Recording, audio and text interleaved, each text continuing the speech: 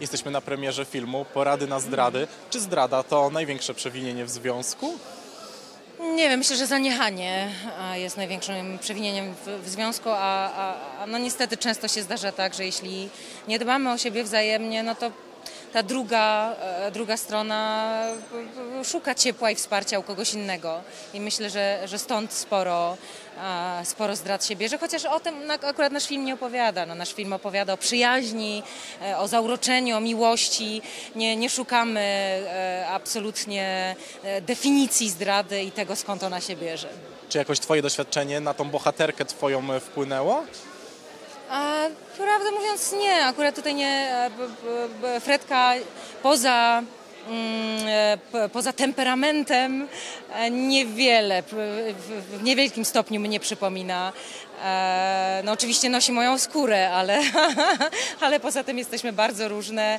Chociaż e, tak jak Fredka, ja również e, e, zapałałam, zapałałam ogromną sympatią, a, a nawet można powiedzieć, choć nie mamy w tej chwili zupełnie dla siebie czasu, co jest frustrujące, ale zapałałam wielką przyjaźnią do Magdy Lamparskiej, bo to naprawdę cudowna, wrażliwa, mądra e, kobieta i świetna aktorka. Czyli wcześniej się nie znałyście? Nie znałyśmy się zupełnie, a muszę Państwu powiedzieć, że widziałam film jeszcze nieskończony parę, parę miesięcy temu i tę chemię, która jest takim, takim klejem w e, filmie, tę chemię między naszymi boha- bohaterkami widać i uważam, że to jest nasz ogromny sukces.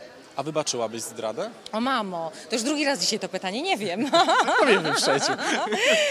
Nie wiem, wiesz co, to, e, to, to trudne pytanie i też e, myślę, że, że odpowiedź na nie zależy od, od wielu czynników. Mam nadzieję, że nigdy nie będę się musiała e, tak naprawdę zastanawiać nad tym, czy, czy, czy wybaczyłabym, czy nie.